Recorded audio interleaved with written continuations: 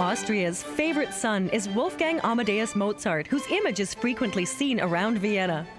His music is celebrated all over the country, and fans can also visit the last home he lived in. Here, original copies of some of the symphonies are on display. Other composers, such as Johann Strauss, are also commemorated. Schönbrunn Palace is the place where Wolfgang Amadeus Mozart gave his first concert at the age of six in the year 1772.